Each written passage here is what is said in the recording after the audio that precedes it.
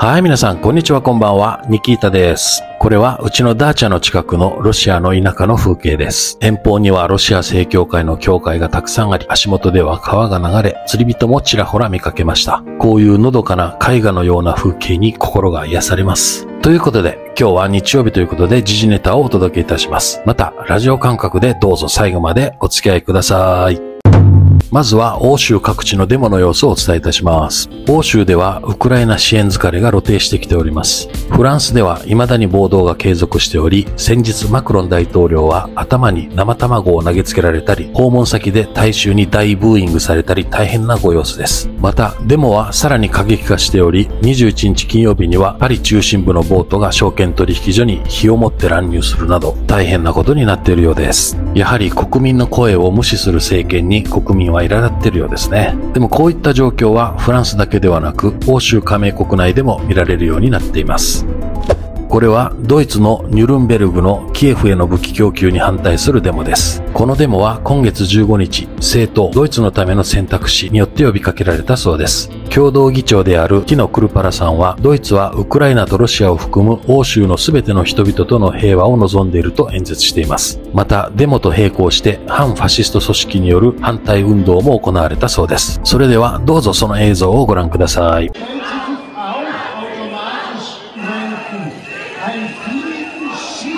Wir wollen Frieden mit allen Völkern in Europa. Dazu gehört die Ukraine genauso wie Russland. Wir wollen auch in Zukunft friedlich in Europa mit Russland leben.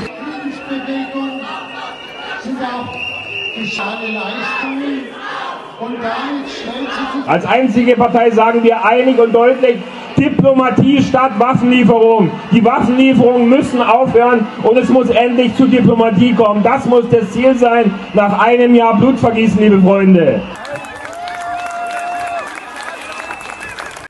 次はところ変わってノルウェーです。こちらはウクライナ支援を支持するデモの映像です。どうぞご覧ください。 that uh, the feedback based on the information Russia has advanced two groups about African groups and they uh,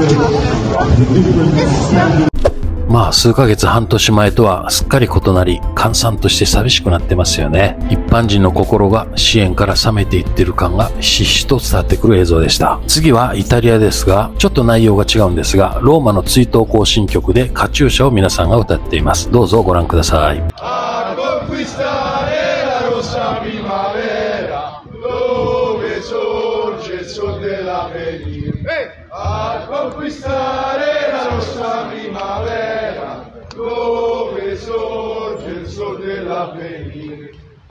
あの第二次世界大戦ではソ連はドイツのファシズム政権と戦いましたが、イタリアのパルチザンも同じ目的で戦っていました。そこに共通点があるからか、イタリアではこのカチューシャが反ファシズム象徴の歌となったそうです。まあメロディーは一緒なんですが、歌詞はイタリア語で内容は全く違うようですが、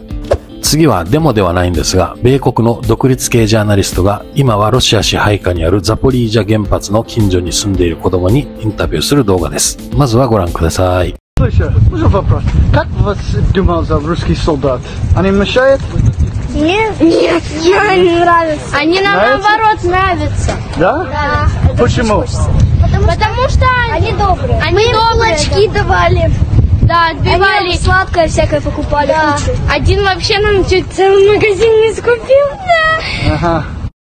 西側メディアあるあるで、ロシアはひどい国で占領されて苦しんでいるといった回答を想定していたのか、それは定かではありませんが、幸せな回答が返ってきたようです。まあ子供は正直ですからね、相手が外国人ジャーナリストだからといって空気を読んで合わせたりはしないと思います。次もまたあのデモとは関係ないんですが、これはキエフの近郊の都市での映像です。まずはご覧ください。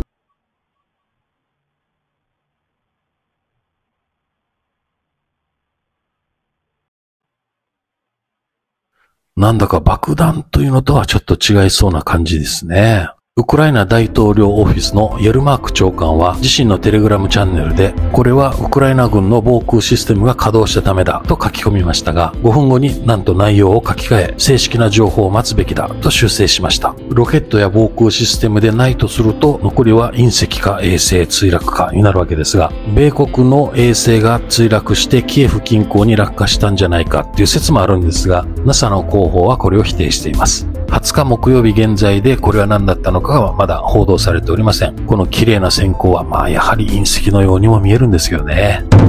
先週産経新聞の記事を取り上げお伝えしましたが、視聴者の方からコメントをいただき、ネタ元の記事を発見できました。産経新聞は、プリゴジン氏は14日、プーチン政権は軍事作戦の終了を宣言すべき時だとする声明を交流サイト SNS 上で発表したと書いていましたが、原文をチェックしたところですね、これは一部を切り抜きし、意図的に自分たちの主張に都合の良いようにねじ曲げて報道されたものだと思います。まあ、ロシアに負けてほしいと願っている人々は、この記事を見てラッキーと思ったことでしょうが、プリゴージン氏の真意をお伝えしますと、私は決して特別軍事作戦を終わらせようと提案しているわけではなく、ロシア人が結果が達成されたことを知り、満足感を得られるように特別軍事作戦の終了を発表できると言っているのです。これが私の発言の根拠ですと4月18日にご自身のテレグラムチャンネルで語っております。一方、彼はですね、別の日に NATO に加盟したフィンランド軍に対してフィンランド軍に死闘を繰り広げることを提案します。お互いに500人の兵を送り本気で殺し合いましょう。そして今日最も強いのはワグナーかフィンランドの軍隊か評価しましょうなど挑発的なことも語っています。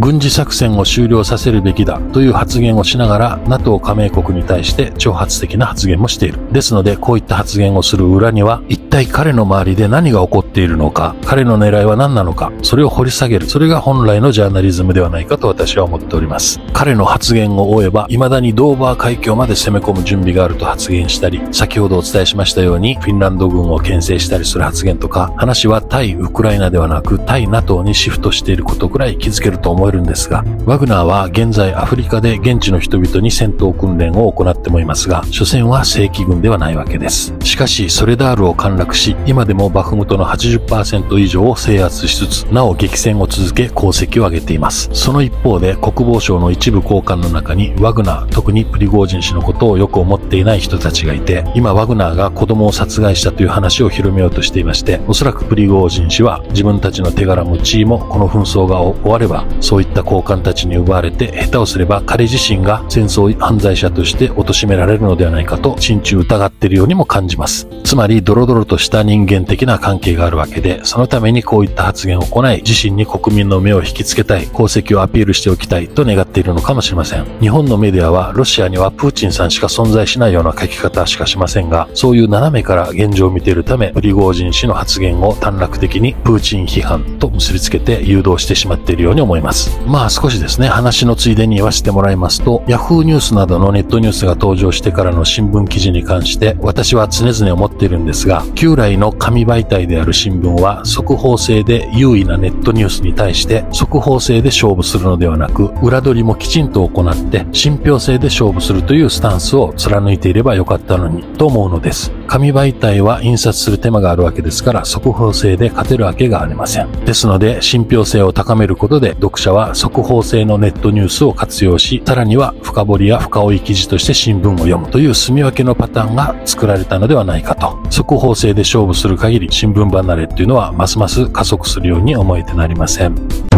次は前線の状況をお伝えいたします。今週の19日水曜日、ウクライナ国防次官アンナ・マリアルが、ウクライナ軍はアルチョーモスク、バフムトですね、それとマーリンかアブディエフかリマン方面でカウンター攻撃を開始したと発表しました。一方で、米国のニューズウィーク紙は4月30日にウクライナの反撃が始まると報じています。しかし、いずれにしてもなんでわざわざメディアで報道するんでしょうね。敵に手の内を明かす愚かな行為だと思うんですが、まあ国内向けかもしれませんね。ちなみにロシア軍は冬の攻勢について、国防省が発表することはありませんでした。果たしてウクライナ軍の春の反転攻勢は始まっているのでしょうかそれではフロリダのサーニャさんの4月20日の解説からお伝えいたします。20日木曜日の前線の俯瞰図はこのような感じです。まずはザポリージャ方面ですが、カーミンスカやマーラヤタクマチカ、マルフォポリ、チェルヴォーノエ、ウグレダールでロシア軍が攻撃を行っております。そしてノバウクライナ、セルゲーエフカではウクライナ軍のミグ29が合計2機撃墜されたそうです。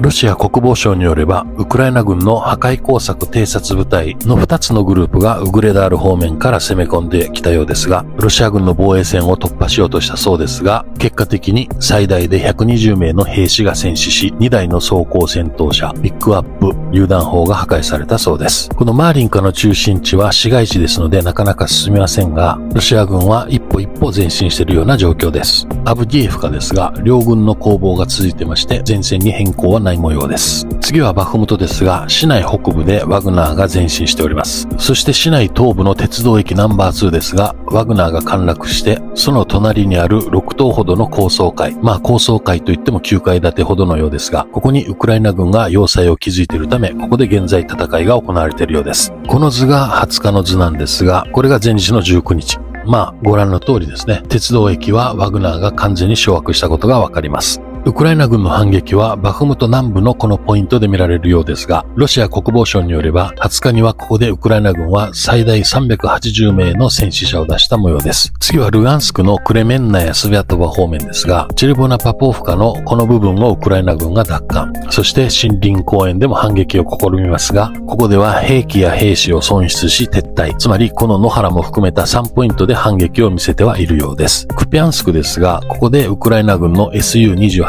が撃墜されたそうです。また、ハリコフ方面では、アルリャンスコへと新興フカの2つのポイントで、ウクライナ軍の破壊工作偵察の2つのグループが反転攻勢に出たそうですが、結果、最大で120名の戦死者、戦車1台、2台の装甲戦闘車、そして2台の自動車などが破壊されたそうです。ロシア国防省は破壊工作偵察グループと報告していますが、通常偵察グループは20名程度の編成とのことですので、何かがおかしい。つまり、突撃ししてきたグループの死者数が120名と報告してるわけですから、果たしてこれが偵察グループと言えるのか。また、戦闘機も近辺で同時に撃ち落とされていることから推測すると、これは偵察グループのレベルではなくて、先日ウクライナ国防次官が発表したように反転攻勢なのではないかと、サーニャさんは分析しております。ロシア国防省の発表によれば、ロシア軍はすでにウクライナ軍が集結していた場所に今週空爆やロケット弾などを撃ち込み、弾薬庫や指揮所、暗視所などに被害が多数出ております。ということで、ウクライナ軍はどうやら反転攻勢を行ってはいるものの、今のところロシア軍の優勢を跳ね返すほどの反転攻勢ではないということが見えてきたかと思われます。ご存知のように、現在ウクライナ国内では戦車は当然のことながら、砲弾や弾薬、小型武器の製造は行われていませんので、ウクライナ軍は EU や米英からの武器供与に100%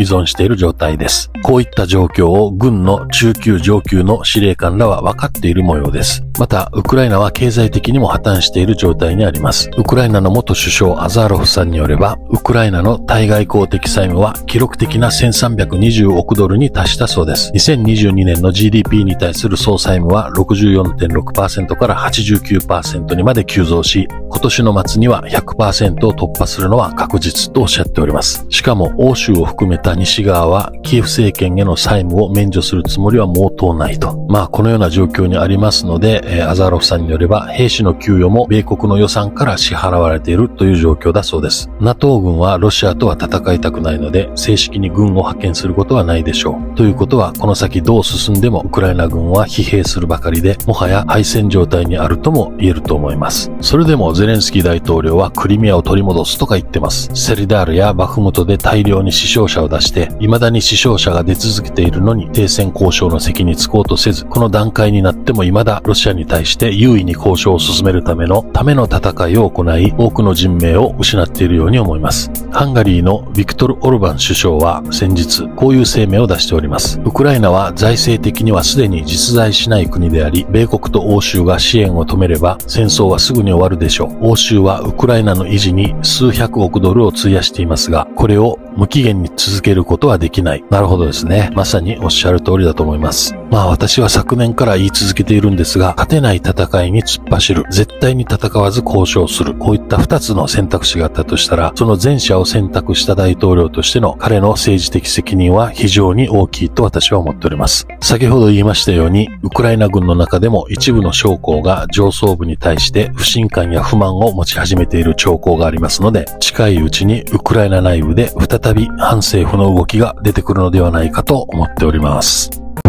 次は、まずはポーランドがウクライナ産穀物類の輸入禁止を EU に訴えというニュースからお届けいたします。4月20日付、リアノーボスティ社の記事からご紹介します。ポーランド政府はウクライナからの穀物のみならず、その他の製品の輸入を禁止することを提案したとポーランドのラジオ局 RMFFM がブリュッセルの情報筋を引用して報じています。ポーランドではすでに昨年から農家がこの関税なしで入ってくるウクライナ産品に悲鳴を上げていましたが、今回はポーランドド以外にもハンガリー、スロバキア、ブルガリアが声を上げており、4月22日土曜日からウクライナ産の穀物及びその他動植物由来の製品の輸入を一時的に禁止することになっております。具体的な項目を言うと、油量種子、鶏肉、砂糖、リンゴジュース、果実、蜂蜜、小麦粉、パスタがリストに入っております。しかしこの輸入禁止項目には4カ国間で多少の違いがあるようでですね、ポーランドの場合は、イチゴ、桃、梨、プラム、サクランボなどのソフトフルーツ、そして卵、そして鶏肉、砂糖、蜂蜜となっておりまして、ブルガリアは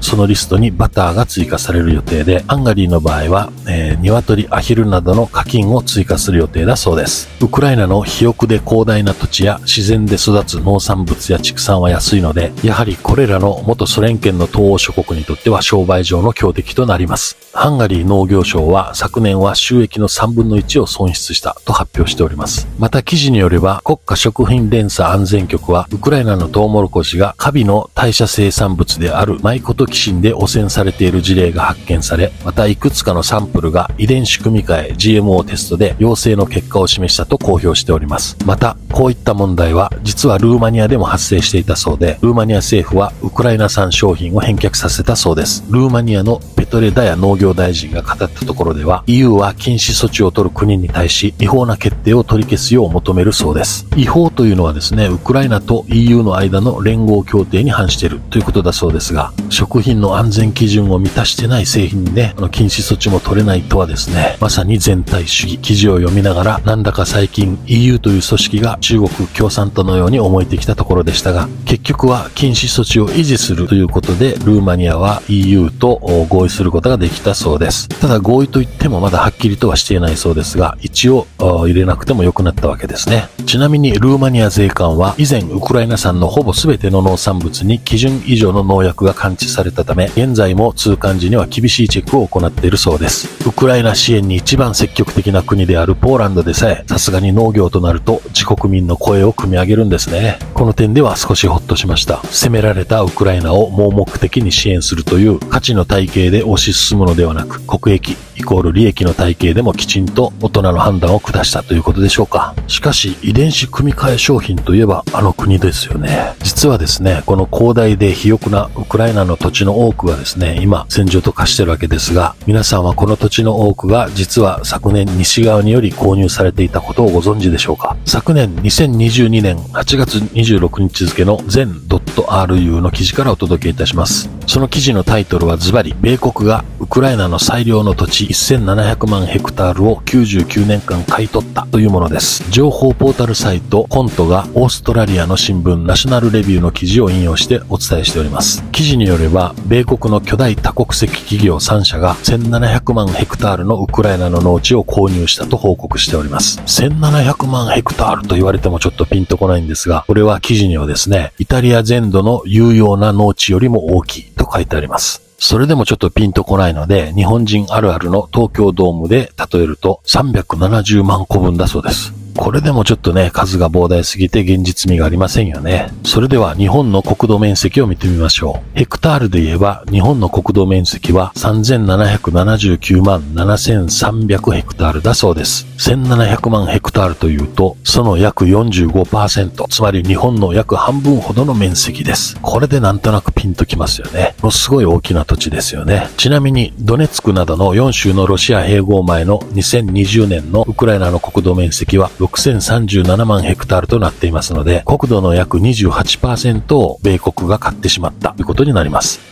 まあ、米国と言いましても、その購入したのは国ではなくて会社なんですが、まあ、これまた有名な3社がね、購入しております。まずは1865年創業の米国の穀物メジャーのカーギル、そして1802年創業の化学メーカー、ジュポン、そして2018年にバイエル社に買収されたものの、1901年創業で米国屈指のバイオ化学メーカー、モンサントです。先ほど、ウクライナ産の農作物で、えー、GMO 遺伝子組み換えで陽性が出たお伝えしましたが、まさにこのモンさんとは遺伝子組み換えのリーダー的な会社であります。そして、これらの老舗の会社の主な株主たちが10兆ドルを運用するブラックロック、6兆ドルを運用するバンカード8810億ドルを運用するブラックストーンというファンドです。前回、ジョージ・ソロスのおじいちゃんについてお話ししましたが、彼はソ連崩壊後の1992年からウクライナに目をつけ、人々を反ロシアへと教育していく基礎を作り上げ、年数をかけて土台を固めていきました。ファンドがウクライナへ投資できる環境をソロスさんが整え、また引っ張ってきたのでしょうか。ロシアのオンライン報道サイト、ファン FAN によれば、モンサント社がウクライナに目を向けたのが2013年、ウクライナが IMF から170億ドルの融資を受ける際の仲介役を米国が務めたタイミングで、ウクライナでの遺伝子組み換え技術の受け入れ交渉が始まります。IMF の融資受け入れ条件の一つの項目として、遺伝子組み換え作物生物に国を開くことという義務があったそうですが、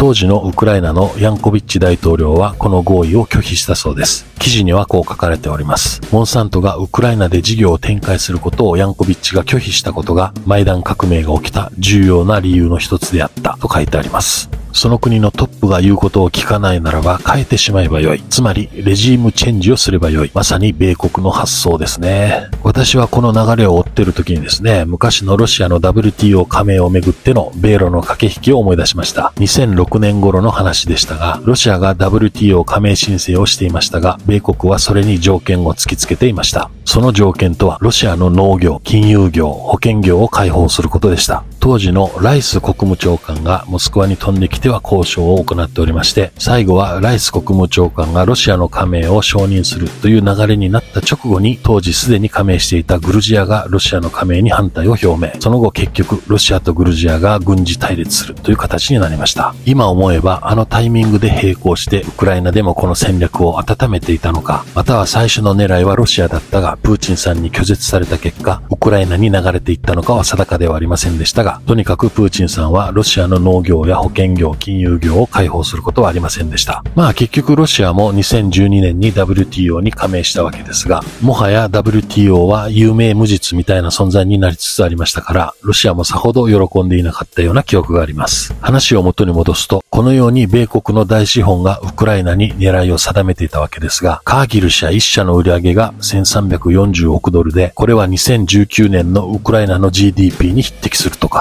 まあすごい会社ですが、このカーギル社、デュポン社、モンスタント社の3社は、1990年代にはウクライナに支社を開設しており、農業や種子の販売、穀物の積み替えなどの事業を行っていたそうです。rg.ru はこう書いております。IMF とゼレンスキー大統領からの圧力の下で採用されたウクライナの土地改革は国民の間で非常に不人気なのだが、外国人が国土を購入するための抜け道を開いた。ついにゼレンスキー大統領は農業を開解放したわけですね。ただこの土地改革によれば、正式には2024年まではまだ移行期間中ということで、外国人が直接所有権を取得したり、100ヘクタールを超える区画を購入したりすることはできないそうです。しかし、ウクライナ政府が多国籍企業と組んで、外国人が土地の最終的な所有者となるスキームを考え出すのを禁じる人は誰もいないわけです。結果、これら米国企業3社は仲介者を通じてウクライナの農地のほぼ半分を所有しているそうです。そして当時数十万ヘクタールもの土地を所有していたウクライナの土地銀行の所有者たちもゼレンスキー大統領の土地改革に反対することはなかったため土地が彼らによって密かに売却されたのではないかと記事では書いております。そして昨年の特別軍事作戦開始までにはまだ2300万ヘクタールもの土地が残っていたそうですのでこれらの土地は急いで売却されたのではないかと記事では推測しております。これはもちろんあの確認情報ではありません。えー、ですが一説によれば